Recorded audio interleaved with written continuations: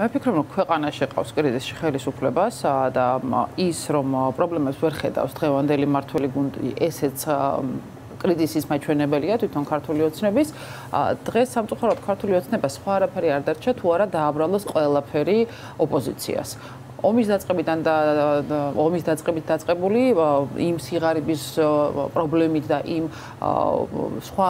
პრობლემური საკითხებით მათ შორის ის რომ ბიზნესმენიშვილის დაპირება ვერ შეასრულეს მაჟორიტარმა ესეც ოპოზიციას დაბრალდა. ამიტომ დღეს სამწუხაროდ ადეკვატური არ არის მართველი გუნდი არც ბატონ ბიზნესმენიშვილი რომელიც არის ამ გუნდის ხელმძღვანელი და მისი ბოლო ინტერვიუ აბსოლუტურად ასთენელი იყო რეალობას და განსაკუთრებით ეს იგრძნობა ბატონი კობახიძის განცხადებებში, როდესაც ერთი ცხრილის გარკვეულ სიძულ სროლის სიტყვებს იყენებს ოპოზიციის მიმართ. ამ შემთხვევაში ოპოზიცია არ არის მხოლოდ მხოლოდ ნაციონალური მოძრაობა რომელსაც ეს ის ასე ამკობს ხოლმე და ამ შემთხვევაში ყველა ერთის წინააღმდეგ და მეორე მხრივ ის რომ რეალურად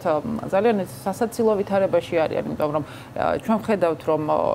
შედიან დიალოგზე ამბობენ რომ წერტილი დასმულია შემდგომ დიალოგზე მისვლა უწევთ ეს პირველი დიალოგი ესეთი იყო ხო? შემდგომ ამბობენ რომ არა არა კონსტიტუციურია და მე ისევ დიალოგზე მიდიან. ამასთან ფონად მისდევს ის კრიტიკა რომელიც დასავლურ პრესაში არის და რომელიც ჩვენ დასავლელი პარტნიორების მხრიდან ხდება ხელისუფლების მისამართით. და აქ თავარი გზავნილი რაც არის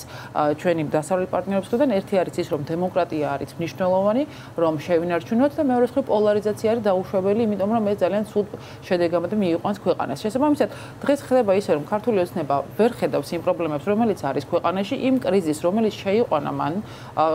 საბოლოო ჯამში ამ თავისი შეცდომებით თუ გაუაზრებელი თუ გააზრებული შეცდომებით თუ ამბოხებით, რომელიც მაჟორიტარების ნაწილში დავინახეთ ჩვენ და შესაბამისად, დასავლეთი დგას სადარაჯოზე დემოკრატიის დაცვის და საზოგადოების ხარდაჭერის და დღეს სხვა არაფერი არა არ იყო ის განცხადებები თუ არა იმ საზოგადოების ხარდაჭერა რომელიც აბსოლუტურად მოტყუებული დარჩა ბიზნესმენიშვილის დაპირებით, რომელიც შემდგომ თითქოს არ შეუსრულეს მაჟორიტარებმა. ამიტომ კრიზისში არის ქართული ოცნება და არ უნდა გადაყვეს ქვეყანა ქართული ოცნების არაადეკვატურობას